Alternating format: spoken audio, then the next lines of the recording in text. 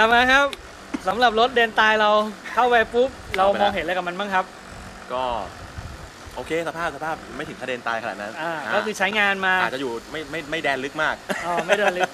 ก็ยังอยู่ประมาณแดน3แดนแรกรับนะฮะยังไม่ถึงกับแดน8นะครับอะสภาพก็คือรถใช้งานทั่วๆไปใช่ครับรถใช้งานก็เลอะฝุ่นเลอะโครนอะไรตามเรื่องตามราวคราบนู่นคราบนี่ทั่วครับไปครับ สภาพแบบนี้โดยทั่วๆไปเป็นคุณผู้ชมที่อยู่ทางบ้านครับ เขาควรจะจัดการไงกับมันได้บ้าง ถ้าล้างเองที่บ้านเลยครับอย่างแรกเลยเนี่ย ถ้ามีคราบหรือฝุ่นเนี่ยครับ แนะนำเลยอย่างแรกห้ามเอาผ้าแห้งเช็ดเด็ดขาดครับ เพราะมันจะทำให้เกิดรอยขนแมวที่รถเกือบทุกคันเลยผมก็ว่าได้ฮะเป็นทุกคันประเภทพอมีฝุ่นอ่าตอนเช้าตื่นมาตื่เนี่ยนเช้ามาเอาผ้าแห้งเช็ดหรือไม่ขนหรือไก่ด้วย ไม้ขนไก่ปัดอ่าซึบซึบซึบซึบซึบซึบเรียบร้อยขนแมวมึงเต็มเลยนะฮะ ใช่ครับ ไอ้รถขาวๆไม่เท่าไหร่นะสี ดำเลยถามไหมครับเคยรถสีดำบรรลัยจักรแน่เลยฮะนี่ขึ้นมานี่โหเต็มพิกัด เพราะฉะนั้นอย่าใช้อย่าใช้ผ้าแห้งเช็ดเด็ดขาดครับทำยังไงกับมันได้ครับ อย่างแรกเลยเนี่ยดีดีขึ้นมาหน่อยก็คือผ้าชุบน้ำครับอ่าฝุ่นเบื้องต้นนะผ้าชุบน้ำครับแต่ผ้านี่ขอเป็นผ้าไมโครหน่อยนะครับไม่ใช่เอาแบบผ้าขนหนูที่แบบแข็งแล้วแข็งเป๊กเป๊กๆเอ๊ะเอาไม่ใช้แล้วเอาเช็ดรถดีกว่าขนขนแม่งเหมือนไม่มีแล้วเหมือนสกอตไบรท์อะเก็ตป่ะ คือแบบมึงใช้เสร็จมึงตากตากเสร็จปุ๊บขนมานี่แข็งนรกเลย เช็ดไปมีค่าเท่ากับมึงเอาสกอตไบรท์ขันรถครับ รับประกันได้นั่นแหละ อ่า อ่า คือมันหน่อยคือผ้าชุบน้ำครับผ้าไมโครชุบน้ำชุดครูรัปบก็ยังดีครับอะรูป แต่ถ้ามีเวลามากกว่านั้น ครับ ผมแนะนำว่าล้างน้ำเลย เออ คุณจะไม่ล้างน้ำยาก็ได้ ครับ แต่ขอให้มันก็คือว่าขอให้พวกคราบพวกใครเนี่ยมันได้มีน้ำในยชะล้างนิดนึงปัจจุบันลงทุนกันง่ายนะครับ พวกเอ่อเครื่องฉีดน้ำแรงดันสูงใช่ นะครับ หลักพันนะครับ ที่บ้านถ้ามีเวลานิดหน่อยเสียบเลยครับ เสียบปลั๊กกดตืดอัดเข้าไปสักหน่อยหนึ่งใช่ เพื่อเอาฝุ่นออกเบื้องต้นใช่ครับ นะครับ แล้วก็เอาผ้าเช็ดครับ อ่าผ้าไมโคร เน้นนะฮะผ้าไมโครผ้าไมโครนะครับ อ่าสมัยโบราณเขาใช้บอกว่าผ้าหนังชามุกไม่รู้หนังอะไรเหมือนกันนะฮะ หนังกระต่ายหนังแกะหนังแพะที่ไหนก็ไม่รู้ เอาเป็นว่าเป็นผ้าไมโครนาโนอ่านนะครับ แล้วเช็ดให้มันสะอาด ใช่ครับผม แล้วอีกปัญหาหนึ่งที่เจอกันบ่อยเลยครับ ขี่จิงจกครับ ขี่นกครับบางคนบอกว่าเอ้ยโดนไปไม่เป็นไรหรอกเดี๋ยวค่อยล้างทีเดียวอืม เรียบร้อยครับ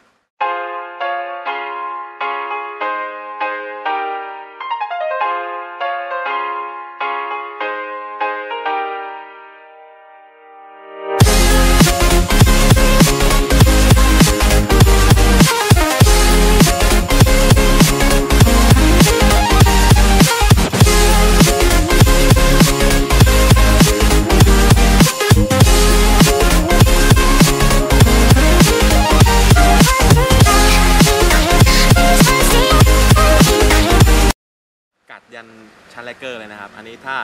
บางคนเนี่ยโดนมาปุ๊บเนี่ย อืมแนะนำง่ายๆอย่างแรกเลย รีบเอาน้ำฉีดออก อืมแล้วเอาผ้าชุบน้ำลูบออกไปก่อน หลายคนตั้งใจขัดกระแทกอัดเข้าไปนะครับ ยิ่งทำให้ลักเกอร์คุณบรรลัยนะครับ ใช่ครับใช้วิธีเอาฟอกเอาพ็อกกี้อะครับ ที่ไว้สำหรับรีดผ้าฉีด ใช่เดี๋ยวเอาน้ำหยดไว้ให้มันละลายนิดนึงนึกสภาพขี้แห้งอะ เออ นั่นแหละมึงไม่ผิดหรอก ขี้แห้งนะ เวลามันแข็งปุ๊บนะ มันกอดตัว วันนั้นต้องทำละลายมันก่อนนะครับแล้วค่อยเช็ดออก ไม่งั้นมันก็จะยิ่งบรรบรรลัยหนักกว่าเดิม ใช่ พอจบขั้นตอนนี้ล้างแล้วไม่สะใจอยากจะขัดเลือบเอง ก็ได้ระดับหนึ่งครับ แต่ถ้าขาดอยู่ที่บ้านเนี่ยก็แนะนำว่าเป็นเป็นเครื่องตัวที่ไม่แรงมากครับอ่าหรือไม่ก็ไม่อยากลงทุนเลยครับขัดมือครับ ก็เหนื่อยแน่ โอ้ยหมดวัน มีมีคนประเภทเดียวทำได้ครับ ไอ้ขัดมือ เพชรจ้าครับ ไอ้จ้ากล้ามใหญ่ ไอ้ไอ้จ้าไอ้ภูมิทำได้ครับ ปล่อยมันมันชีวิตมันมันขับ เชอร์บี้มันนะครับ นั่งทั้งวันอันนั้นคนพวกนั้นทำได้ปล่อยมัน ครับ อันนั้นคือกรณีอยากขัด อ่า แต่บางคนบอกว่าเอ๊ะร้านธรรมดาก็พอ ครับ แต่ร้านธรรมดาเนี่ยมีน้ำยาเคลือบหน่อยก็ยังดี อืมเพราะปัจจุบันนี้น้ำยาเคลือบมีหลายแบบแล้ว เป็นแบบอืม ฉีดฟอกกี้ปุ๊บอ่าเช็ดกวนได้แล้ว อ่า จบ ครับอันนั้นก็เป็นการเพิ่มชั้นเลเยอร์ให้ครักับบผิวบางครับๆ ก็ยังครับ ป้องกันได้เบื้องต้น ครับ ครับ อันนั้นก็ทำให้พูดง่ายๆคือว่าก็เงาระดับหนึ่งแล้ว อืม อ่าอาจจะดูเฮ้ย เราทำได้ขนาดนี้เลยเหรอเนี่ยอ่า อ่าจริงๆไม่ใช่เทคโนโลยีมันไปไกลแล้วครับ เทคโนโลยีมันมันมีตั้งแต่เซรามิกนาโนเซรามิก อ่า มีโอ้ยเยอะแยะครับ ใช่ครับ แล้วแต่เลือกพูดง่ายๆคือแล้วแต่ตังค์ในกระเป๋าอะมึงรวยมากมึงก็ซื้อแพงมากครับ จนจนหน่อยก็ใช้แบบบ้านๆไปใช่หรือง่ายกว่านั้น กรุณาขับรถมาที่เราที่เรา เพราะราคาเรา เออ เอื้อมถึงง่ายแน่นอนราคาอ่าเราไม่แพงอะเริ่มต้นครับ ที่500 บาทเท่านั้นเอง อันนี้คือผมการันตี เพราะว่าโดยปกติเนี่ยนะครับเวลาเราไปขัดเคลือบสีที่อื่นเนะครับโอ้โหคุณต้องมีอย่างน้อยนะครับสักพันห้าสองพันห้ารถไซส์ผมผมขับแคติว่าอย่างเงี้ยโดนบางทีสามพันอัดเข้าไปเต็มที่แล้วแต่ความหรูของสถานที่นะครับ อันนี้เราคิดว่าเรามาบ้านเพื่อน อ่าสบายสบายๆเป็นนะครับกันเอง เวลามาก็เซเว่นอยู่ปากซอยนะครับ จะรีโอจะสิงห์อะไรก็ซื้อเข้ามานะครับ แล้วก็นั่งรอรถมันไปนะฮะเอ่อฝั่งตรงข้ามมีร้านน้ำตกนะครับ สั่งน้ำตกมาได้นะฮะหรือถ้ามันไม่มีไม่มีปัญญาออกไปจริงๆบอกน้องที่ร้านนะครับ แล้วบอกมึงโทรสั่งให้กูด้วยอ่านั่งกินรอไปเลยนะครับ มีมีสาระพักใจมีสาระพักใจให้ที่อื่นเขาเป็นร้านกาแฟเว้ยที่อื่นเขาเป็นร้านกาแฟน่ารักน่ารักมีคาปูชิโน่ที่นี่ไม่มีมึงเดินกาแฟเซเว่น นะครับ แล้วก็มีสาราพักใจอยู่อ่า นะแต่ดูดีแต่ดูดี อ่า ก็จะได้บรรยากาศเหมือนนั่งรอรถบ้านเพื่อน อีกแบบหนึ่งอีกแบบหหนึ่นึ่งงเหมือนล้างอยู่บ้านแต่ไม่ต้องล้างเองอ่า อ่าร้านเปิดกี่โมงปิดกี่โมงครับ ร้านเปิดนะครับ เปิดทำการจริงๆเนี่ย9โมงถึงรอบสุดท้ายยาวก็คือ2ทุ่มแต่เราทำงานจริงๆเนี่ยตั้งแต่8โมงถึง5ทุ่มเลย อ๋ออา เพราะเดี๋ยวนะปิดรับตอนสองทุ่มเนี่ย บางทีรับรถคันสุดท้ายตอนสองทุ่มมึงจะลากยาวไปอีกสามสี่ชั่วโมง ใช่ถูกต้องสรุปเบ็ดเสร็จ พอล้างเสร็จเรียบร้อยนะครับ ก็เนี่ยครับออกไปบังกะโลรังสิตนะฮะ มันใกล้ๆ วนไปได้ โอ้จะปิดแล้วมั้งอย่างนี้ปิดทิ้งเออปิดเออปิดเที่ยงคืน ไม่เป็นไรหรอก บิวมันตั้งแต่ตรงเนี้ยบอกแล้วเซเว่นอยู่ข้างหน้า มึงกินเซเว่นก่อนก็ได้ แล้วมึงค่อยไปบังกะโลต่อใช่นะครับอะย้ำมาอีกทีนะครับ ติดต่อผ่านทางแฟนเพจอะไรครับ ครับแฟนเพจแล้วนะครับ ก็ตามป้ายข้างหลังเลยนะฮะบันไลกะลาดครับพิมพ์เลยนะฮะเจอเลย หรือว่าหาไม่เจอก็พิมพ์ www.facebook.com นะฮะบันไล กาลาดอืม55 เจอเลยนะครับ ครับผม ก็มาพบเจอบ้านพี่บ้านน้องอะนะครับ เดินกันแถวๆนี้นะครับ แล้วก็มันอาจจะไม่ได้ราคาแพงอะไรขนาดนั้นใช่เป็นราคารับกันได้ใช่ครับแล้วก็อยู่ในคุณภาพที่ผมเชื่อว่าหลายคนชอบนะครับ หลายคนที่เบื่อบรรยากาศ car care อลังการร้านเจ็ดอ่านะครับ คือบอกได้เลยนะครับละ car care ที่นี่จะไม่ได้เหมาะกับพี่ที่ขับรถประเภท SLK มา นะฮะไม่ไม่ได้เหมาะกับประเภทเอ่อขับรถราคาล้าน up ขึ้นมานะครับพี่จะหงุดหงิดนิดนึงเพราะจะไม่มีบริการส้นตีนอะไรให้พี่เลยนะฮะนั่งกันร้อนตับแล้วแต่ SLK จอดอยู่ข้างหลังนะโอ้เออมีมีมีอ๋อมี SLK ต้องถามว่าของใครอ่าเอออะเอาเป็นว่าใครที่เบื่อล้างรถในบรรยากาศปกตินะครับ มาล้างรถบรรยากาศชิลๆนะครับ มานั่งพูดคุยแลกเปลี่ยน เขาเป็นร้านล้างรถด้วย แล้วเขาก็เป็นคนแต่งรถด้วย เผื่อคุณมีไอเดียอะไรคิดไม่ออก ไม่ว่าจะรถรุ่นไหนก็ตามทีครับ ครับถามกันได้บอกกันได้ได้ปรึกษายินดีกันได้ครับนะครับผม ก็แล้วแต่สภาพเอ่อความรู้พื้นที่ว่างในสมองคุณ นะครับ รับได้เท่าไหร่เอาไปนะครับเพราะบางคนมันมีไอ้พวกแต่งรถแล้วสมองพื้นที่แม่งเต็มแล้วไง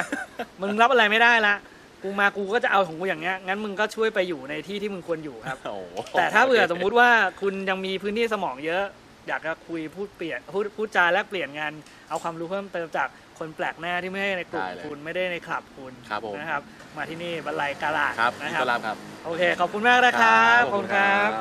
อ่าแล้วนี่คือทั้งหมดนะครับของรายการคันสุดขั้วในวันนี้นะครับ หลายคนที่ดูในหลาย ๆ เทปที่ผ่านมาของคันสุดขั้วครับอาจจะมีข้อสงสัยว่าทำไมผมถึงเลือกรถดูจะบ้านบ้านมาก ๆ ดูจะเอ่อไม่ได้เป็นรถที่เป็นคันสุดขั้วอะไรมากมาย แต่ผมบอกว่า อย่างที่ผมบอกตอนต้นรายการครับ ผมไม่ได้เลือกรถจากคำว่าคุณจะรวยแค่ไหน คุณจะมีมากแค่ไหน หรือว่าคุณจะสุดยังไงแต่งในแบบที่เจ๋งกว่าชาวบ้านที่สุดยังไง แต่ผมเชื่อว่ารถทุกคันเป็นคันสุดขั้วของคนทุกคนครับ เพราะคนทุกคนที่เป็นเจ้าของรถนั่นคือคันสุดขั้วของเขาครับ วันนี้คุณอาจจะมีโตโยต้าหนึ่งคัน แต่คุณเต็มที่และเต็มใจที่จะทำมันให้มันกลายเป็นรถที่สุดของคุณ วันนี้คุณมีแค่โตโยต้าไม่ได้หมายความว่าวันหน้าคุณจะไม่มีเฟอร์รี่คุณจะไม่มีลัมโบกินีทุกคนอยากได้ครับ ทุกคนฝันอยากจะเป็นครับ แต่การที่จะพาคุณไปถึงจุดนั้นได้เนี่ย ผมว่าที่สำคัญที่สุดมันคือวิธีคิดครับ รายการเลยนำเสนอเรื่องของวิธีคิดมากกว่าการที่ไปหาของที่สุดอยู่แล้ว มีอยู่แล้ว หรือหลาย ๆ คนไปจนถึงที่สุดแล้ว ไม่มีใครพูดหรอกครับว่า กว่าเขาจะไปถึงตรงจุดนั้นได้ กว่าเขาจะมีเงินมากมาย พอที่จะไปซื้อหาของพวกนี้ได้ เขาผ่านอะไรมาบ้างนะครับ เราก็เลยทำรายการที่เป็นคันสุดขั้วในรูปแบบที่เป็นตัวผมเอง ผมอยากเล่าแบบนี้ ผมก็เลยเล่าให้คุณผู้ชมฟังว่าแต่ละคันครับเขามีวิธีคิดเขามีวิธีทำเขามีวิธีที่มันมาถึงจุดนี้ได้มีเรื่องราวของทุกๆคน มีความประทับใจของทุกๆคนนะครับ ขอบคุณมากสำหรับการติดตามในคันสุดขั้วนะครับ สัปดาห์หน้า จะเป็นยังไงจะมีรถใครหรือคุณก็ตามทีนะครับ ถ้าอยากเอารถของคุณเองมาออกในรายการคันสุดขั้วติดต่อเราเข้ามาครับที่แฟนเพจของคันสุดขั้วนะครับ บอกมาว่ารถของคุณมีเรื่องราวยังไง น่าประทับใจแค่ไหนมากน้อยอย่างไรนะครับ แล้วเราก็จะพาไปพูดคุยกับคุณนะครับขอบคุณสำหรับทุกการติดตามนะครับ พบกันใหม่ได้ทุกวันเสาร์นะครับ 20นาฬิกา40 นาทีถึง 21นาฬิกา40 นาทีโดยประมาณนะครับ อาจจะบวกลบสักนิดหนึ่งนะครับทาง Speed Channel True Vision 691 และทาง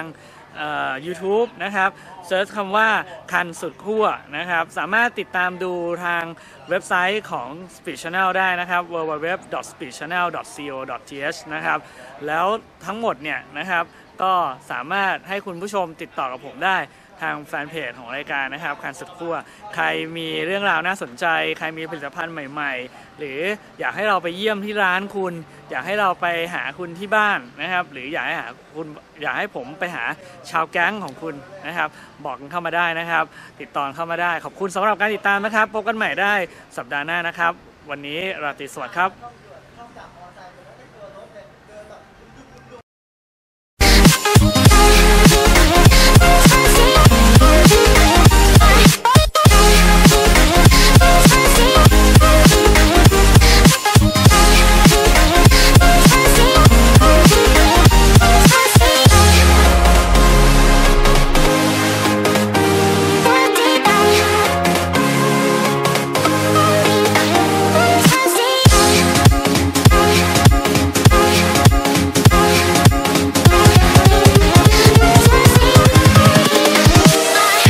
go.